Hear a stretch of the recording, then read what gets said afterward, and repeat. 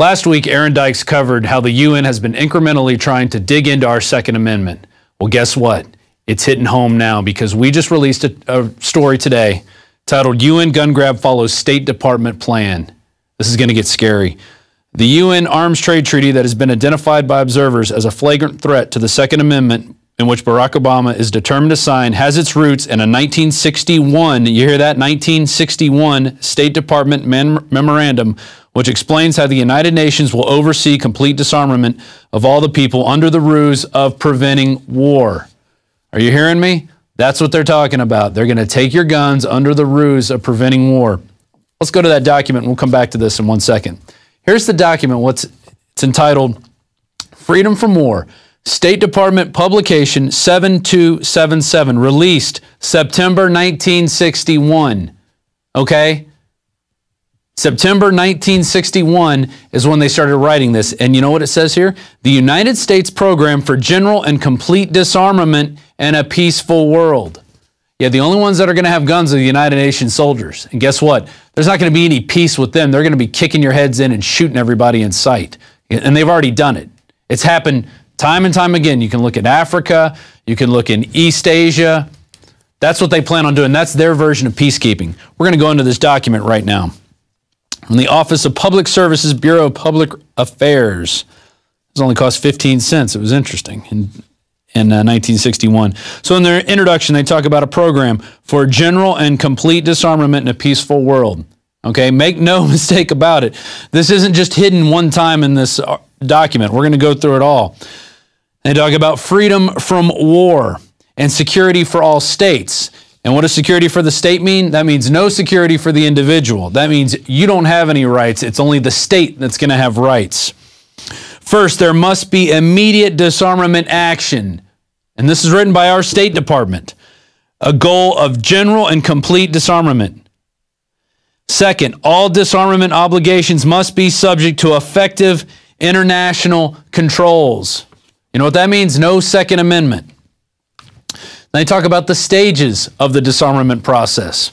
Third, adequate peacekeeping machinery must be established. Nations are unlikely to shed their means of self protection in the absence of alternative ways to safeguard their legitimate interests, like freedom from tyranny. This can only be achieved through progressive strengthening of international institutions under the United Nations and by creating United Nations Peace Force to enforce the peace as the disarmament process proceeds. You guys, you better get serious.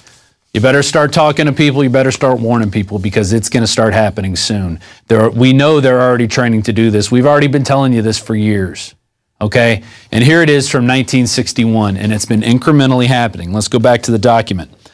Disarmament goals and objectives preserve internal order and contributions to a United Nations peace force. So that's taxes that they're going to use from us to go back and take your guns later through the United Nations, through the blue hats. Establishment and effective operation of an internal disarmament organization within the framework of the United Nations to ensure compliance at all times with all disarmament obligations. Okay? Governing principles, we're going to move down here. Inspection and verification must establish both that nations carry out scheduled limitations or reductions and that they do not retain armed forces and armaments in excess of those permitted at any stage of the disarmament process. There it is, right there in the document.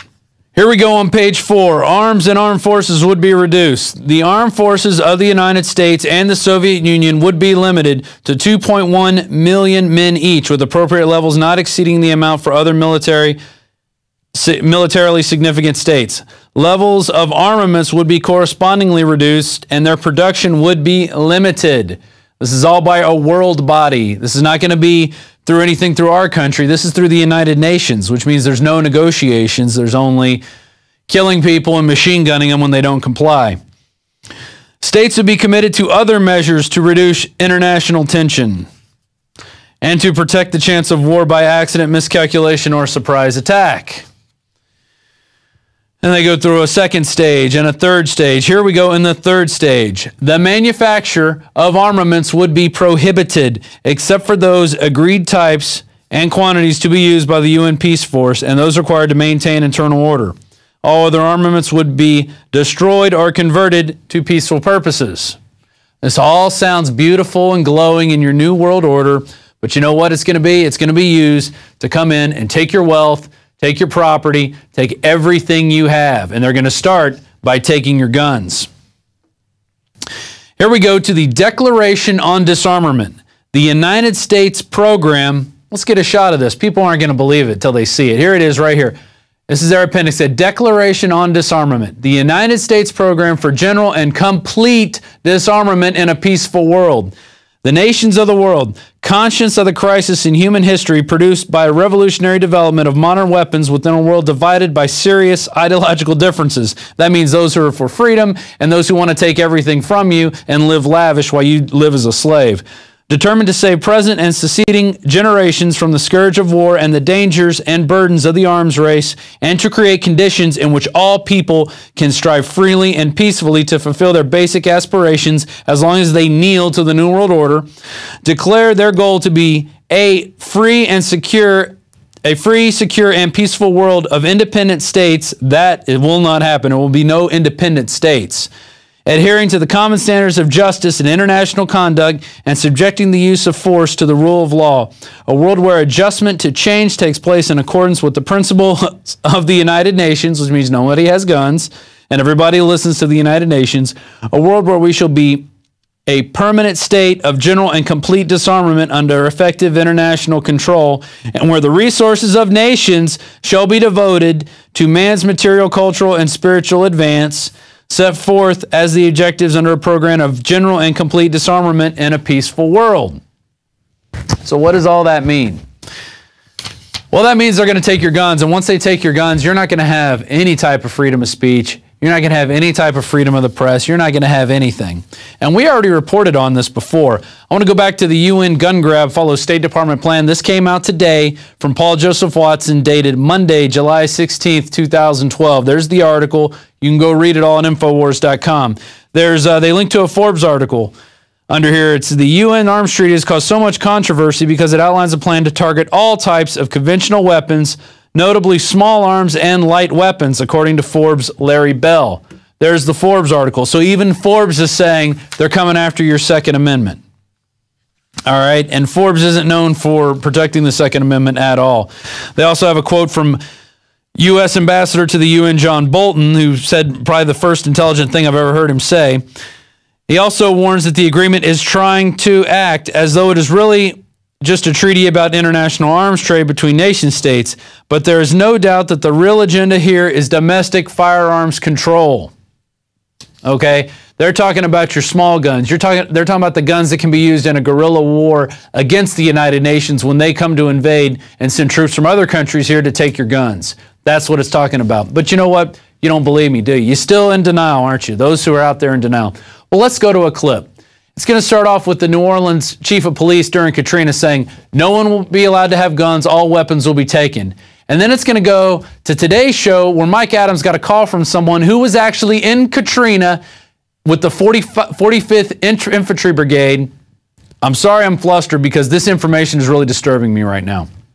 He was there confiscating guns. They were going door to door. They were kicking in as they asked, Do you need any assistance? Boom. Do you have any guns? We're taking them. You said guns guns will be taken? Yeah, no one will be able to be armed. We yes, will take all yes, weapons. Sir. Today in New Orleans, they got a lot tougher on the holdouts. Police department, anyone home? Not only the flooded areas, but New Orleans' driest and wealthiest neighborhoods, too. Police department! The police and National Guard going street by street, house to house, sometimes entering open houses with guns drawn and instructions to disarm anyone inside. Uh, let's go to Chris in Oklahoma. Chris, you're on the air on the Alex Jones Show. Thanks for joining us. Hey, Health Ranger. How's it been? Good. It's good here, man. How about yourself? Oh, pretty good, pretty good. Um, I was with the 45th Infantry Brigade and Delta Company, first of the 279, uh, second platoon. Um, during Hurricane Katrina, I'm kind of calling in on yesterday's subject. I'm sorry about that. It's all right. But uh, I don't. It's just I've always wanted to, to get a hold of you guys and kind of get the word out there for those that still have that slight hesitation in the back of their head that gun confiscation can't and won't happen here. It already has. And I was only 21 years old, just really gung ho, really dedicated to the Army, especially to the infantry. And uh, I did whatever I was told. And what, what did they ask you to do? Oh, I first let's see. The first thing we did was we got a a three week uh, a book full of three week old nine one one phone calls, right? And then we had to go around and answering all the phone calls. So we were like cadaver dogs for about three weeks. And in between them, we would run night missions. And here's the thing: a lot of people may think that they'll see this on the news or they'll have time to to get ready when you know when the when the crap hits the fan or whatever. It's just it, it's a truck. You know what I mean? It's a group of trucks. They pull up. They stack right on your home, as we did, and we broke entry. Yeah, we would yell out Oklahoma Army National Guard is anybody in need of assistance. But that's as we were booting in the door. But wait a minute. It sounds like you weren't part of the Oklahoma National Guard. I mean, you were you were U.S. military. Yeah, I was uh, I was activated. Um, I think about a week after Katrina, I was I was watching it on on, on the news, and Sheriff Kamiko of Fox 23 told me before my unit even got a hold of me that I was going to New Orleans. Wow. So we, So- so yeah, we got we got sent in, and we were we were the very very first boots on the ground. Alpha Company. And you uh, were confiscating you were confiscating firearms. Left and right, yes. And we were also uh, monitoring the New Orleans police because we kept having like, you know, like the first day we had this little beautiful redheaded lady come up. All right, wait a minute. We, we, we're almost out of time. Will you stay on the line for us, please? I want to continue with you on the other side. Stay on the line with us. This is fascinating. We're going to continue this right here on the Alex Jones Show.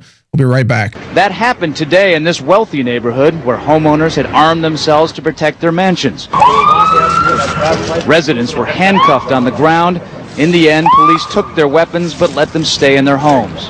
They were a little bit threatened because our weapons were bigger than their weapons. Chris Montgomery says he'd rather be in Iraq than patrolling American neighborhoods. walking up and down these streets, you don't you don't want to think about the stuff that you're gonna have to do. Somebody pops around the corner. I mean, shoot in American?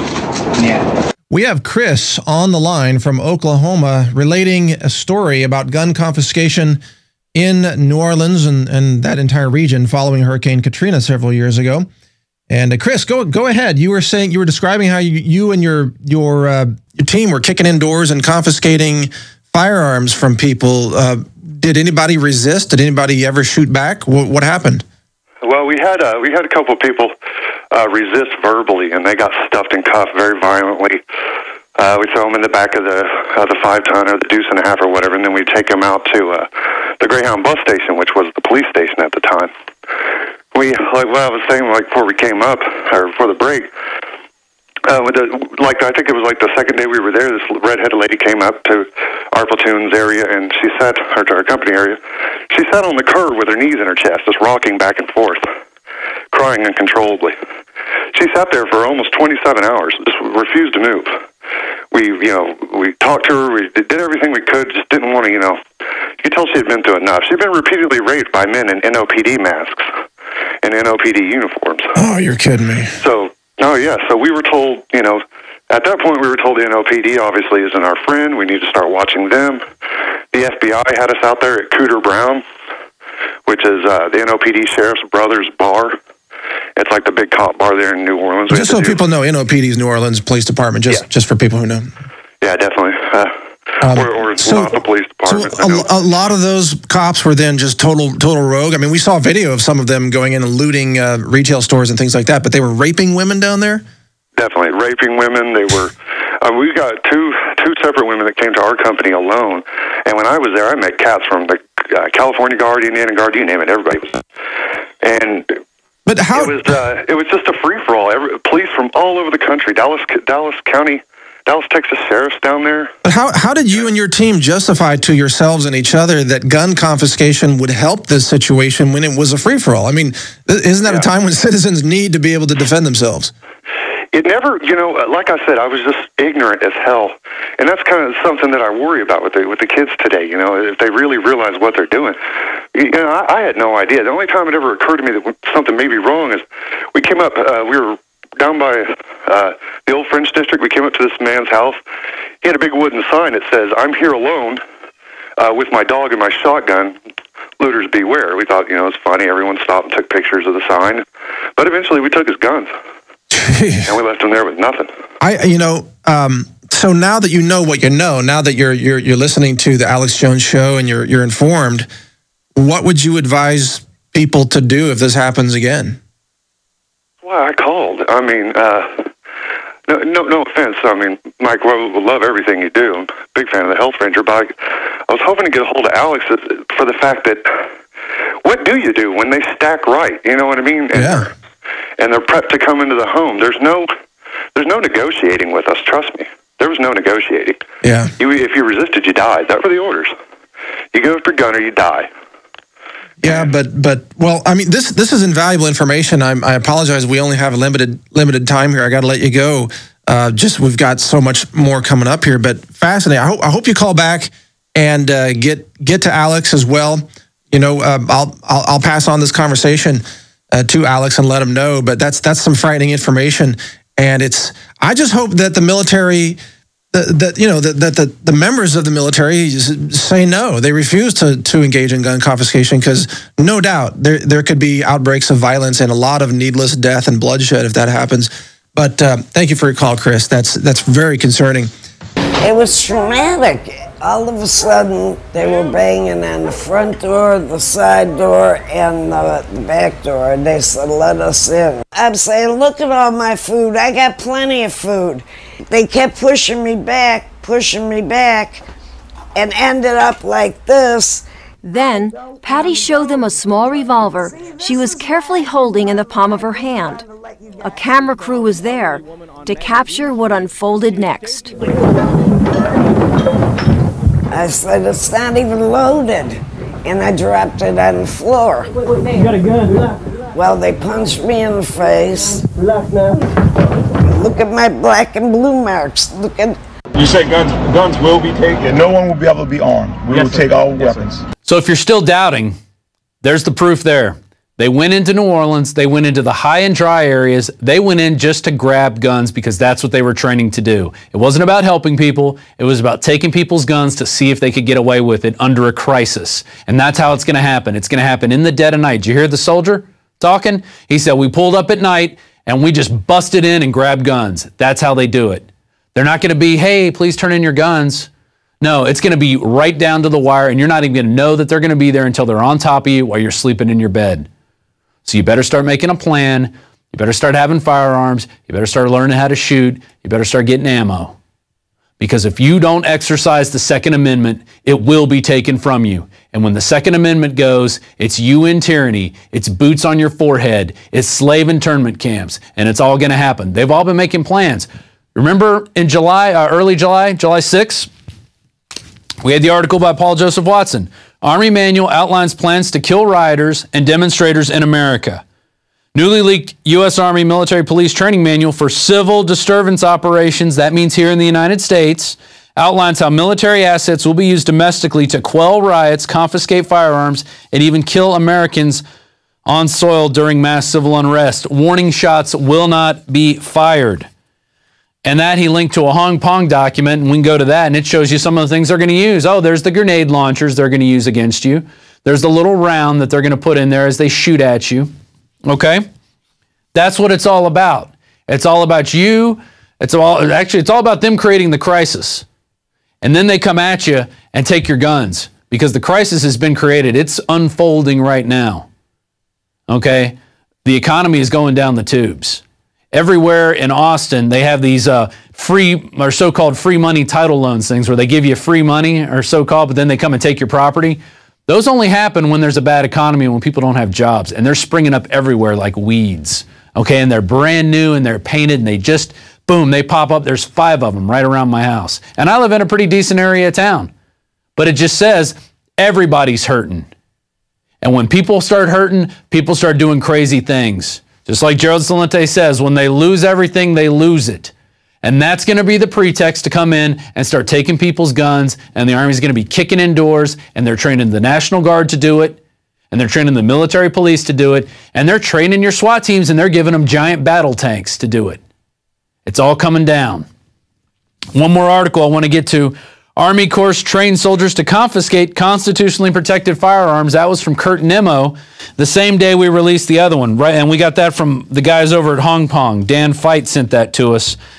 And um, in addition to revealing how federal government and Pentagon will respond to civil disturbances in violation of the 1878 Posse Comitatus Act, the United States Military Police Schools Civil Disturbance Operations document instructs how military will confiscate Americans' weapons from American citizens. I'm sorry. I'm sorry I'm not reading everything eloquent right off a teleprompter, but I'm scared. This is scary information. You need to get this out to everybody you know right now. It's all there. You could go check out the headline. We gave you the headlines. Go read the articles. Go to the links. Go read this document right here. Here it is. It says it in plain English. The United States Program for General and Complete Disarmament in a Peaceful World. It's all right there. You better get this information out. Don't waste any more time. You better get some guns. You better get a plan. You better learn how to shoot. Don't waste this time now that we have because it is precious and the time is running short.